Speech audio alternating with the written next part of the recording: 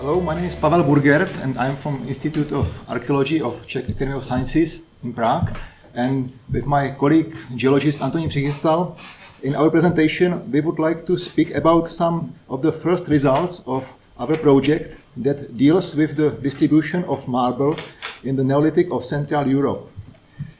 The goals of the research focuses on a section of the late Neolithic in the Central European terminology, specifically the first half of the 5th millennium BC, when the stroke pottery and Lengyel cultures existed.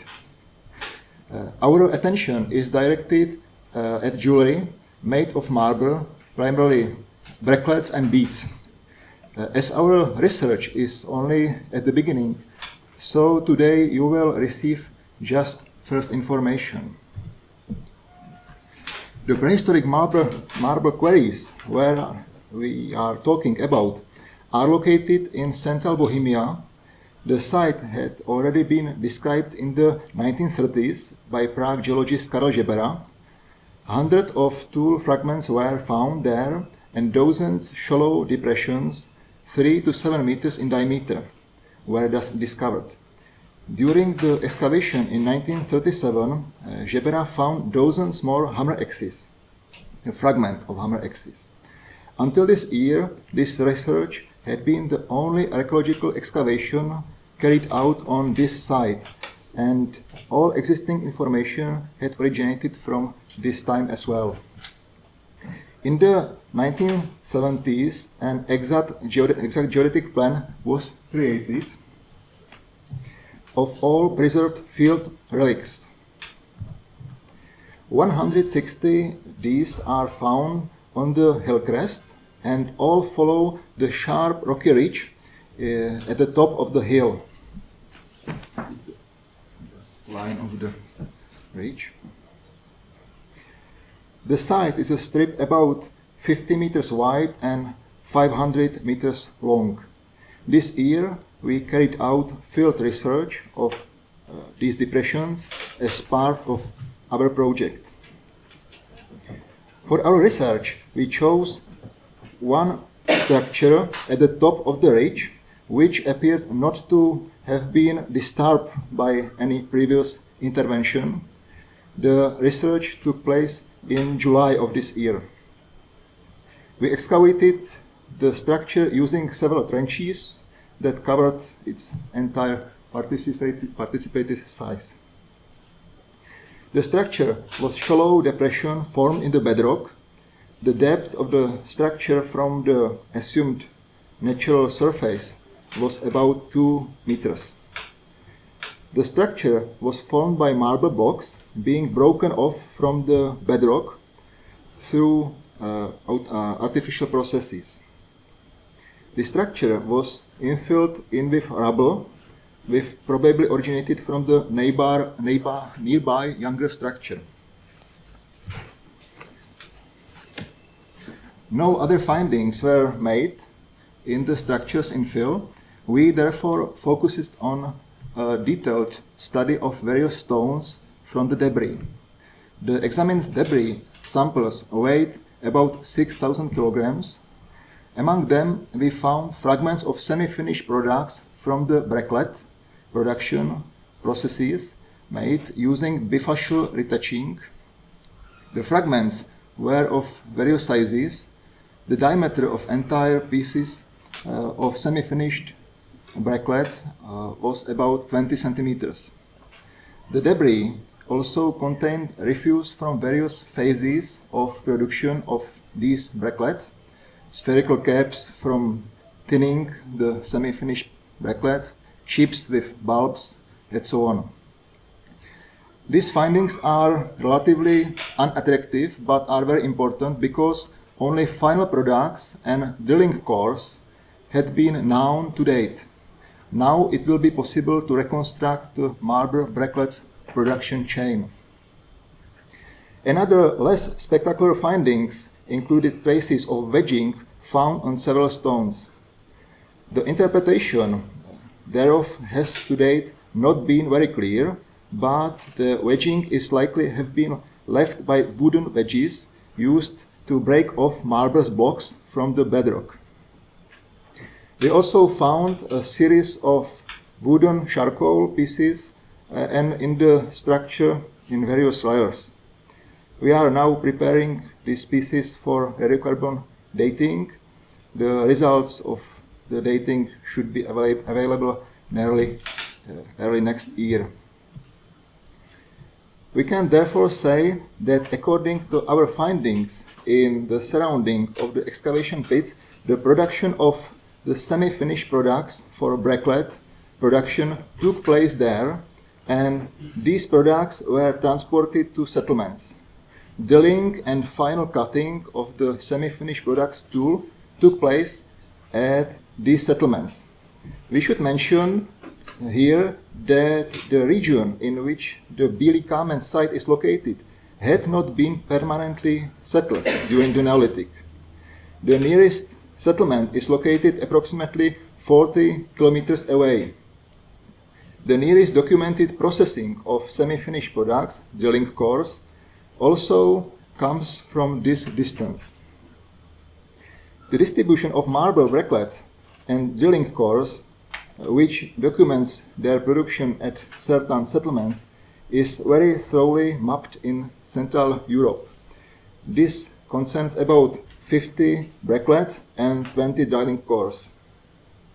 It had been assumed to date that the Bílý Kámen site uh, constituted the only source of this raw material, material for their production.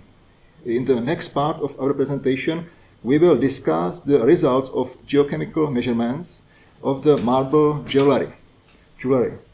We will show that the situation with this raw material is not as simple as we assumed. Now, my colleague Antonín Přichystal will continue with our geochemical results. tam zpátky ten obrázek ještě předcházející. so as you can see, it is supposed by our colleague, archaeologist Zápotocká, a relatively large distribution area, especially along the Danube. Uh, pardon, along the Elbe, sorry, Labe, of course, uh, to the eastern Germany, but uh, rarely also uh, it was described a piece from Bavaria and uh, from Moravia. So uh, during last years, I obtained a few questions from German colleagues about mineral composition and chemical composition of raw material which was mined or quarried at the Kámen here in Bohemia. So that is why we studied also mineralogical and chemical composition, especially of geological samples but for comparison, we also tried preliminary study this drill course.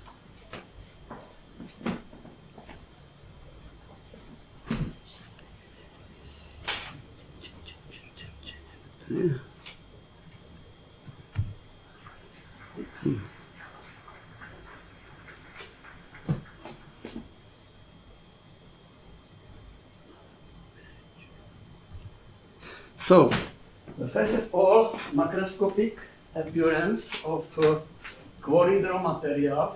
We sampled all marble body. It is relatively large body. It has length about one kilometer and uh, it's uh, wide about uh, 200 meters. So we took eight samples and we found that all body is uh, homogeneous rock, uh, which is built of calcitic, calcitic marble. You can see that uh, uh, it has uh, usually sugar-like white color, sometimes with gray tint. Uh, and uh, in uh, places the body was disturbed by tectonic lines, right?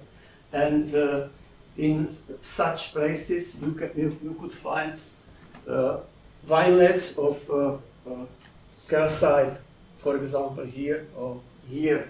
This uh, second picture shows the thin section of marble under polarizing microscope using crossed polars.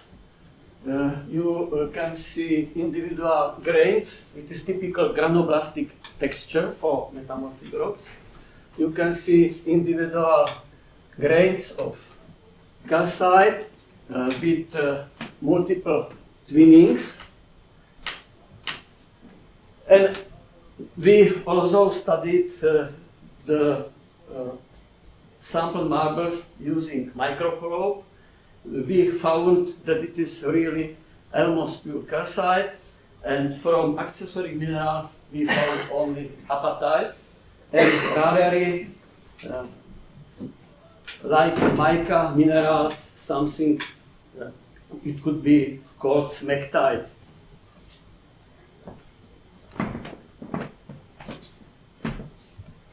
And as is uh, chemical composition, the first eight samples. You can see Bílý Kámen 1 up to Bílý Kámen 8.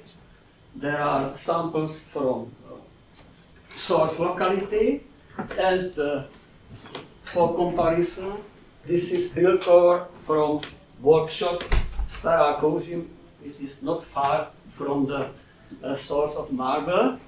And uh, we found that, of course, we analyzed, uh, it was analyzed in laboratories uh, ACME in Canada. we analyzed uh, 11 main elements as oxides, 16 trace elements in ppm, and all practically all group of rare earth elements. But here I can show only part of them. What is typical, the source, the marble from Bílý Kámen is very homogeneous. You can see very high content of CaO and uh, uh, almost uh, nothing as is M MgO uh, concern. Uh, then, as is uh, trace elements, again relatively homogeneous content of strontium and practically the same picture you can see as is all the trace elements and also rare earth elements concerned. But we were very surprised when uh, we compare it with our building cores. You can see that uh, the artifact is made of uh, another rock with high content of MgO. Uh, it means uh, dolomitic marble.